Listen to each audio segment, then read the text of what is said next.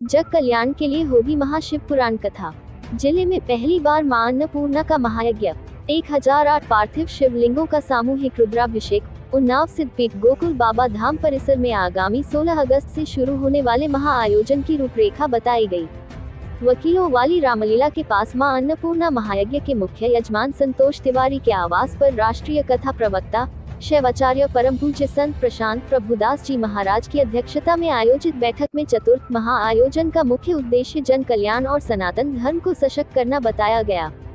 कथा के मुख्य यजमान देवी प्रसाद साहू व हरि प्रसाद साहू ने सभी का अभिनंदन करते हुए बताया कि कथा प्रतिदिन सायं चार बजे से शुरू होगी। यज्ञ यजमान श्रीमती ललिता तिवारी ने बताया, माँ अन्नपूर्णा महायज्ञ प्रतिदिन प्रातः सात बजे से होगा। बाबा धाम में हमें शुभ पुराण कथा सुनने का शुभ अवसर प्राप्त हुआ है। मुझे यकीन नहीं हो रहा था कि ये कार्यक्रम इतना बड़ा इस कार्यक्रम का इतना बड़ा आयोजन होगा। आज कॉन्फ्रेंस रखी गई है। किस बात को लेकर रखी गई? क्या उद्देश्य है? आदि गुरु वैदिक सेवा संस्थान के अंतर्गत उन्नाव के गोकुल बाबा शक्ति पीठ पर चतुर्थ शिव महापुराण कथा का आयोजन होने जा रहा है। जिसके साथ में अन्नपूर्णा महायज्ञ का भी आयोजन होगा शिवो वेदा वेदो शिवा, जो शिव है वही वेद हैं और जो वेद हैं वो शिव हैं।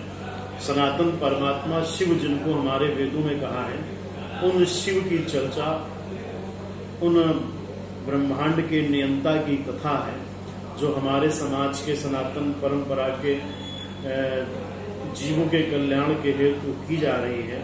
और अन्न की कमी हमारे नगर में ना हो, इस उद्देश्य से अन्नपूर्ण महायज्ञ किया जा रहा है।